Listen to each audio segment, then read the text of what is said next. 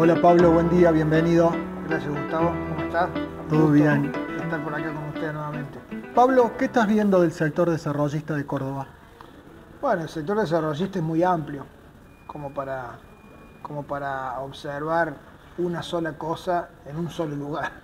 Eh, me parece que hay sectores y sectores. Hay sectores que, que están muy bien, hay sectores que están en crisis y hay sectores que, que están buscando la manera de estar mejor de lo que están. Eh, en- me incluyo, nos incluimos nosotros en GNI. ¿GNI te ubicás en esa categoría? Sí, sí. ¿Qué sí. están buscando? Nosotros lo que siempre estamos buscando es, es diversificarnos, ¿no? Es el, el- el valor agregado. GNI es una empresa que ya hace mucho tiempo que está en el mercado y que ha dado sobradas este, muestras de que siempre tratamos de buscarle la vuelta a la situación. Yo creo que hoy hay una situación de, de crisis del sistema inmobiliario tradicional. Eh, ¿A qué me refiero con inmobiliario tradicional? Aquel sector en el cual este, eh, construye o desarrolla espacios de vivienda que están destinados a un alquiler tradicional. Ese, ese sector está en crisis porque hay que hacer una erogación del inmueble para que después el retorno no esté a la altura de la inversión y mucho menos con una ley de alquiler que no lo, que no lo beneficia al inversor. Eso yo creo que hoy eh, se está reviendo, se está buscando la manera de, de poder sortear esas dificultades.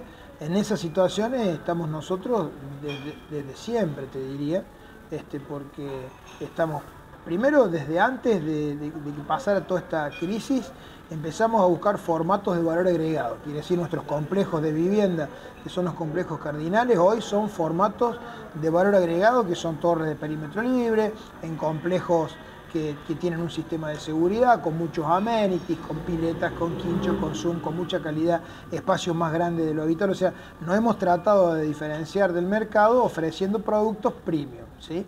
Y más allá de eso, después con ese mismo inmueble, ya ahora cada vez más lo estamos haciendo, hemos, hemos tenido que formar una empresa o hemos tenido que darle eh, empuje a situaciones que nos permitan darle más valor agregado a ese, a ese inmueble.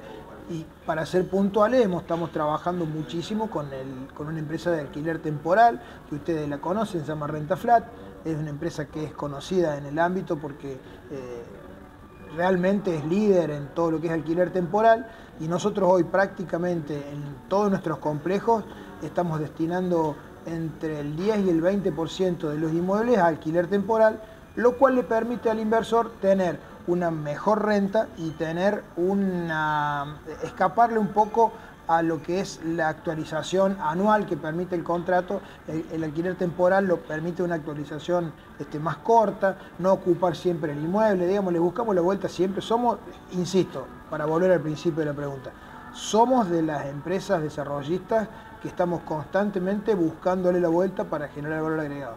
¿Cómo está hoy Cardinales Cófico? Cardinales Cofico es un éxito total. Está la primera torre entregada, muy próximo a entregar la segunda torre. Estamos cumpliendo el tiempo y forma, a pesar de que Cardinales Cofico fue cruzado de pleno con la pandemia. Hace, ya parece que fue muy lejano, pero nosotros en ese tiempo sufrimos un poco de esa situación. Tuvimos tres meses sin poder trabajar. A pesar de eso, venimos cumpliendo muy bien. Y Cardinales Cofico, la particularidad que tiene es que le da la opción a la gente del barrio y de la zona, que es muy fiel. La gente de Cofico, Alta Córdoba y todo ese sector. Se quiere quedar en el barrio. Se quiere quedar en el barrio, pero se quiere quedar en el barrio en algún inmueble que represente su estilo de vida. Eh, Cofico es un barrio residencial histórico de Córdoba, un, un barrio eh, premium, te diría, hay unas casas, unos desarrollos hermosos, y la gente quizás ya hoy se siente con el nido vacío o quiere que sus hijos se- sigan viviendo en el barrio, pero quieren vivir en algo que estén acostumbrados a lo que ellos ya vivieron o sus hijos están viviendo. Y, y te hablo de espacios de calidad, eh, cochera subterránea, amenities, pileta en terraza, este, y, y se sienten muy contenidos con ese desarrollo y con los beneficios que le brinda. ¿Y piensa?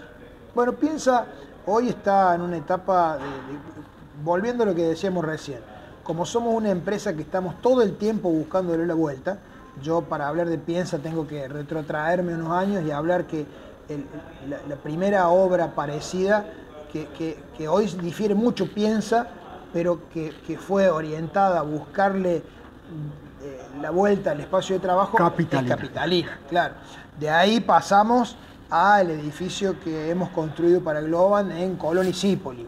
Eh, y después ahí decanta en Capitalina, que Capitalina es un espacio de usos mixtos orientado a la economía del conocimiento y la economía del conocimiento hoy no demanda espacios de trabajo solamente, como puede ser Capitalina. Te estás refiriendo a Piensa. Claro, Piensa está destinado a la, a la economía del conocimiento y la economía del conocimiento lo que demanda es herramientas de captación y retención de talentos y que tienen que ser espacios de trabajo que estén ayornados a las mejores capitales del mundo, porque una persona que trabaja en la, economía del conocimiento hoy en Córdoba es un nómade digital, como se llama, y puede trabajar en cualquier lado del mundo donde se le ocurra. Por lo tanto, hay que brindarle un espacio que se sienta contenido eh, laboral y emocionalmente también. Por eso es que en Piensa estamos muy abocados en desarrollar dos cosas.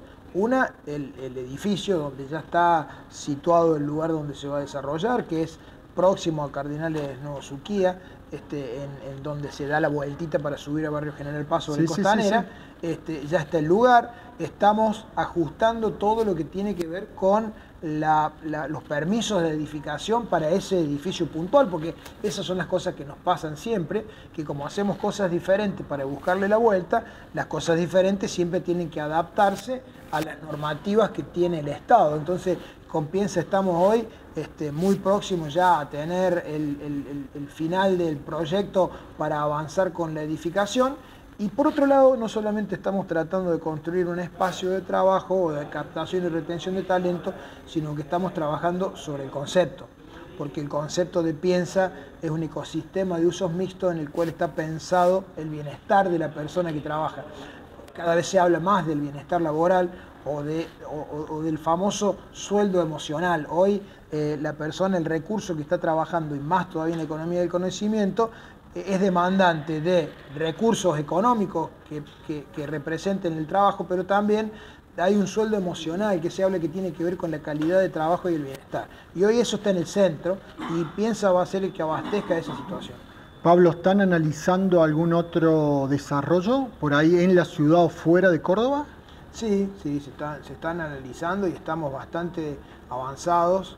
Eh, nosotros eh, venimos, eh, también otra de las cosas que, que ha resuelto, eh, que nos vino muy bien en toda la pandemia y buscarle la vuelta, a ver cuáles eran las nuevas demandas que tenía hoy el usuario de un inmueble. Eh, hemos tenido en este tiempo un acercamiento muy grande y hemos hecho una alianza estratégica muy grande con el hospital privado. Hoy GNI es la responsable eh, a nivel este país de la expansión del hospital privado, un hospital que forma parte de los tres hospitales universitarios del país, es el único hospital del interior del país que es un hospital universitario, o sea que además de brindar un servicio de medicina, tiene una escuela de, medicina, entonces eso lo hace muy diferente al resto y de un plan de expansión necesario por la demanda que tiene y, GNI eh, tiene una alianza estratégica con el hospital privado y GNI es la empresa responsable en el cual el hospital privado depositó la confianza para su plan de expansión. Entonces, los nuevos desarrollos que estamos pensando están relacionados obviamente con la vivienda, pero también con la salud de la mano del hospital privado. ¿Están pensando algo en el exterior o no? No, hoy no. Hoy no. No, hoy en el exterior no. Y te diría que no estamos ni pensando por fuera de Córdoba tampoco. Eh, Córdoba es una, es una, empresa que ve a Córdoba como, como una gran oportunidad, no solamente de crecer, sino que de, desarrollar. Yo siempre hago la, misma, el mismo ejemplo, que es si tengo un montón de tierra enfrente de mi casa y todos los días le tiro un balde de tierra, esa tierra crece, pero, pero no se desarrolla. Desarrollar es otra cosa que hacer crecer y a nosotros nos parece que Córdoba todavía tiene mucho que desarrollar en, oportunidades que tengan que ver con ofrecer cosas diferentes y no pensar en ir a hacer algo afuera, sino para pensar en hacer algo en Córdoba para que vengan de afuera a Córdoba. La salud es una cosa de esa.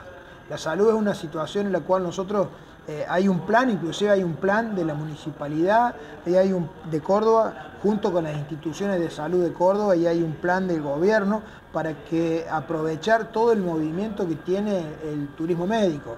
Eh, en, en, Córdoba hay una calidad, hay una conjunción, como está la conjunción que se da de, para la economía del conocimiento, está la conjunción del clúster de salud. Córdoba tiene muchísimos beneficios para poder explotar, pero sí obviamente que hay que desarrollar espacios que estén a la altura y en eso estamos nosotros. Gracias por venir, Pablo. Por favor, un gustazo. Eh, muchas gracias por la invitación y, esperemos que, que, todas estas cosas que estamos haciendo realmente cumplan con el objetivo de que Córdoba cada vez se transforme más y mejor. Gracias.